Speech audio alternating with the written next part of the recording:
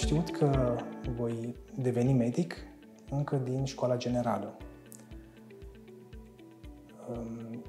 În cadrul facultății de medicină din București pe care am urmat-o, am uh,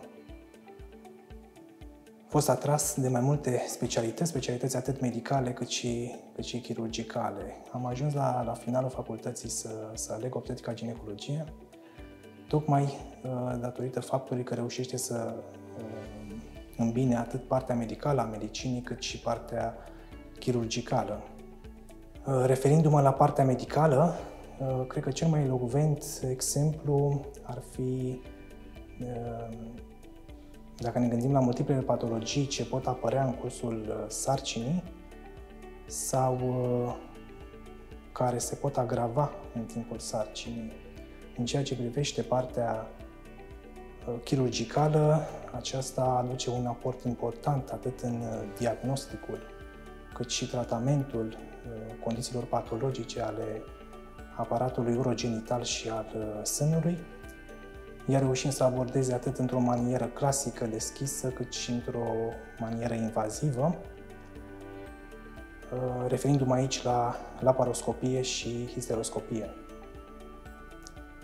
Acum revenind la întrebare, uh, asta m-a, m-a făcut să aleg această specialitate, tocmai complexitatea ei și uh, multiplele posibilități de a mă dezvolta profesional.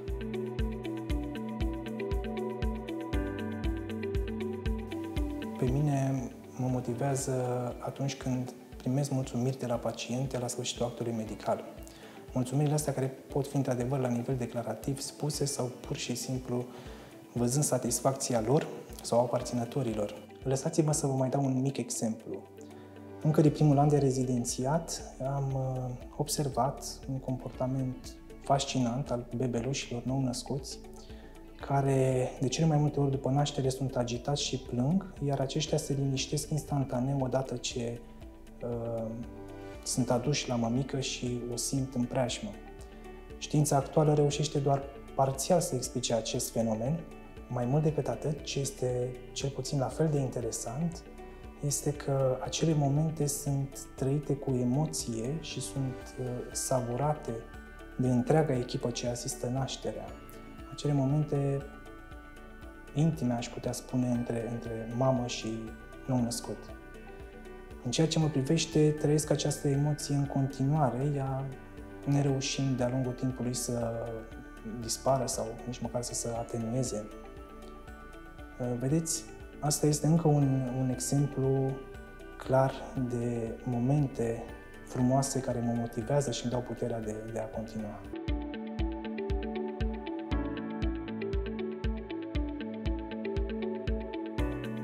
Dincolo de meseria de medic, sunt tată și soț.